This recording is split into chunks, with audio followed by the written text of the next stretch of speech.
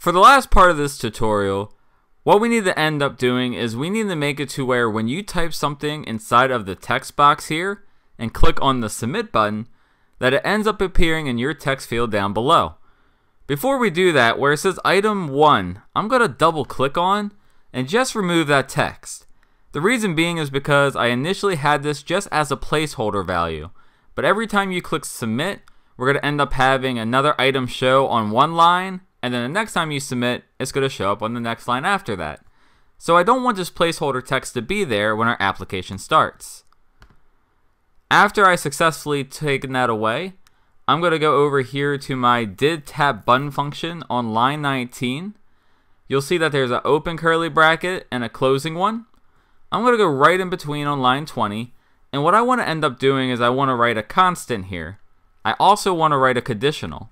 So I'm going to start off with the word if, and then writing a constant in Swift 4 is the word let, and we're going to name this constant text.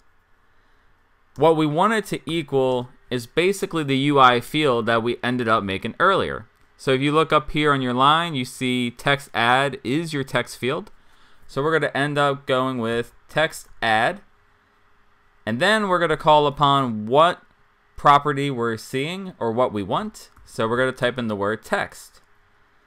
Now this is going to break into another if statement. So we're going to need to make another curly bracket. And Swift, by the way, automatically makes a second one for you, which is nice.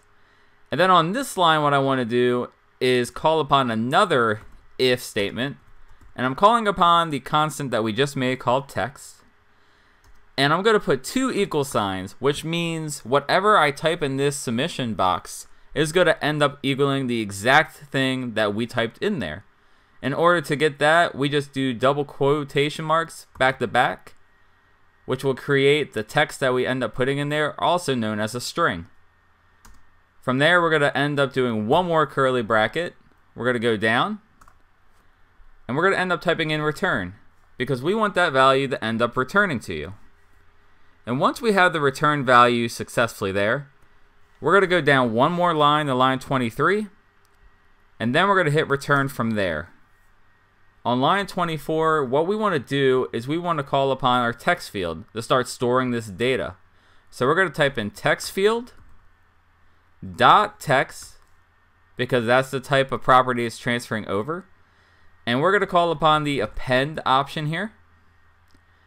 And once we do that, we're going to do open and closed parentheses. And we're going to do a double quotation mark, a backslash, another open parentheses, type in the word text with a closed parentheses, a backslash n, and another double quotation mark. What this will do is this is going to end up taking the text that you wrote inside of your submission box and it's going to put it right down here. If it's the second time that you're putting something in the submission box, this backslash n is going to automatically create a second line for you. So the next few things we need to do is we need to officially add the text. So we're going to go down here and type in text add dot text equals the same string you wrote earlier. And then last but not least, when we're done, we want the keyboard to disappear. So we're going to do text add dot resign first responder.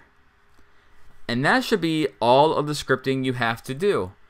So what I'm going to do really quick is I'm going to go up to my debug. And you can see up here you can change a bunch of different options. But if you already have your stuff set up, you could in fact click on the play button here and it's going to start building this program for you. Now sometimes this does take a while and sometimes when it ends up showing the debugger it'll actually be directly on the desktop. So what I'm going to do really quick is I'm going to cut the video off here, let it overall load on the other screen, and then start capturing what it looks like in the simulator. The other great thing about Xcode is once you want to debug or test an application, you can actually end up picking specific settings for different iOS devices, as well as different simulators. So what you can see here is that we just got a generic iPhone 8 going on right here. It's actually a plus size. And you can take a look right here, my to-do list applications right here. If I were to left click on it, it's going to open it up. And from here, I can end up testing it. So let's click inside of our text box and let's end up typing in something like this is a test. And once I type that in, if I click on submit, you'll see that it actually stores that data down below. Now let's just make sure my second line break works when I type in something else. Let's type in this is my second line. If I click submit again, it adds it right below. So there you have it, a very simplistic application, a very easy to-do list, and it didn't really take much coding or knowledge or experience. If you enjoyed this video and you enjoy this series, please give it a like and give some comments down below.